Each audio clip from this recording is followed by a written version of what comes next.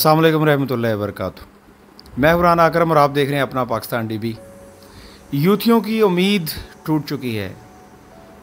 यूथिये ना उम्मीद हो चुके हैं। 2017 से जो उम्मीद लगाए बैठे थे कि तब्दीली आएगी, खान साहब पाकिस्तान को तरक्की की तरफ़ गामजन करेंगे। खान साहब तब्दीली लेके आएँगे, खान साहब चोरों को पकड़ेंगे, खान साहब महँगाई कम कर देंगे, खान साहब गरीबों को रिलीफ देंगे। खान साहब एक करोड़ नौकरियाँ देंगे। खान साहब पचास हज़ार घर बना कर देंगे। खान साहब आईएमएफ के पास नहीं जाएँगे। खान साहब तम, तमाम चोरों को तमाम लुटेरों को जेलों में डाल देंगे। तमाम उम्मीदें दम तोड़ गई हैं। ये आप वीडियो देखें उसके बाद फिर आपसे बात करते हैं। इस वीडियो से आपको इतना अंदाज़ा हो जाएगा कि यूथिये जो है वो कितनी उम्मीद लगाए बैठे थे और अब उनकी तमाम उम्मीदों पर पानी फिर गया है। वीडियो आप देखें वॉच दिस पाकिस्तान के मासूम यूथियों का अरमानो भरा सफ़र अधूरी ख्वाहिशात बेमानी तवक्कुआत सन 2017 इमरान हुकूमत आने दो फिर देखना तुम लोग। सन 2018 इमरान की हुकूमत आ गई अब देखना। सन 2019 अभी तो पहला साल है आगे आगे देखना। सन 2020-21 वो तो कोरोना मसला बन गया था ना आप देख लेना अप्रैल 2022 देखना इमरान हुकूमत से निकलकर कितना खतरनाक होगा। मई 2022 खान को सड़कों पर आने दो फिर देखना तुम लोग। जून 2022 खान के जलसों में समंदर देखना तुम लोग बस। जुलाई 2022 इमरान खान जिम्मी इलेक्शन जीत गया अब देखना भाई। अगस्त सन 2022 खान का लॉन्ग मार्च सब बहा कर ले जाएगा हम। सितंबर 2022 इमरान खान इस्लामाबाद आ रहा है अब देखना भाई।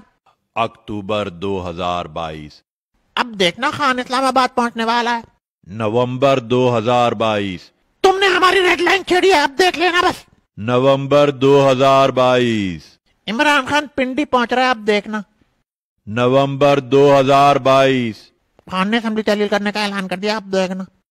देखते देखते चार साल गुजर गए और पूरी कौम बस देखती ही रह गई।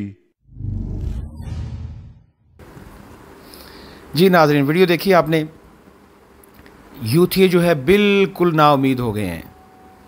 अब एक और वीडियो मैं आपको दिखाने जा रहा हूँ। अब खान साहब का कहना यह है कि छुप जाओ। पहले कहता था, जेल भरो, अब कहता है, छुप जाओ। अब कहता है कि आपने किसी के हाथ नहीं आना, छुप जाना है। ये आज़ादी की जंग लड़ने निकले थे। ये जहाद करने निकले थे। ये जहाद नहीं था। हमारे लीडर ने तो पहले ही फरमा दिया था कि नच्चे नालियाँ के पुत्र कभी भी आज़ादी की जंग नहीं लड़ सकते। तो ये जहाद नहीं था। ये सब खान के लिए निकले थे। और ख़ान ने इनको जलीलो ख्वार कर दिया। खुद भी जलीलो ख्वार हो गया। इनको भी जलीलो ख्वार कर दिया। वीडियो आप देखें। वॉच दिस और मैंने खुद कहा हुआ अपने लोगों को कि चुप जाओ। मैं खुद कह रहा हूँ, अपने कारकुनों को, अपने ऑफ़िस बेरर्स को, अपने अहदेदारों को, कोई ज़रूरत नहीं है आपको सामने आने की।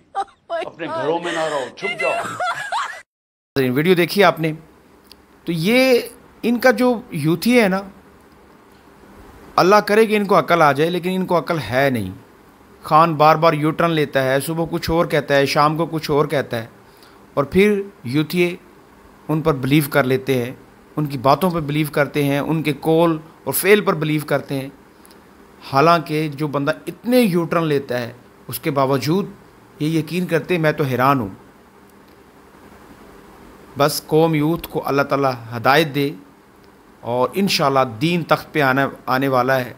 और बहुत से लोग पीटीआई छोड़ चुके हैं, आप सबको पता है। पीटीआई जो छोड़ने वाले हैं, उनकी तादाद तकरीबन थर्टी से अबव है। और जंगीर तरीन भी सियासत में इन हो गए हैं तो अब एक नया मोड सियासत में हमें देखने को मिलेगा। तो बरल मैं आपसे लास्ट में यही कहता हूँ कि लब्बैक को एक चांस दें आप। लब्बैक को एक दफ़ा वोट दें, एक दफ़ा दीन को तख्त पे लेके आएँ। आप सबको देख चुके हैं, सबको आजमा चुके हैं। एक दफ़ा लब्बैक वालों को भी आजमा लें। हमारे साथ जुड़े रहने के लिए सब्सक्राइब करें। बेल आइकन को प्रेस कर दे ताकि आने वाले नेक्स्ट वीडियो आपको मिल सके। अपना बहुत ज़्यादा ख्याल रखिएगा दुआ में याद रखिएगा। अल्लाह हाफिज़।